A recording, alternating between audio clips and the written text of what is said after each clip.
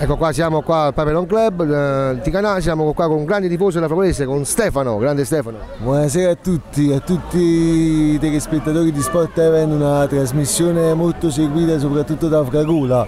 perché eh, Mario Fantaccione e Peppe La Rosa sono stimatissimi da Fragula per l'appoggio che hanno dato a questa grande tifoseria, non perché sono uno degli esponenti ma è una grande tifoseria che merita atti par- eh.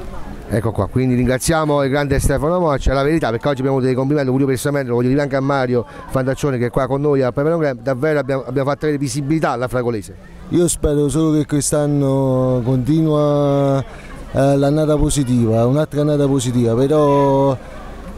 eh,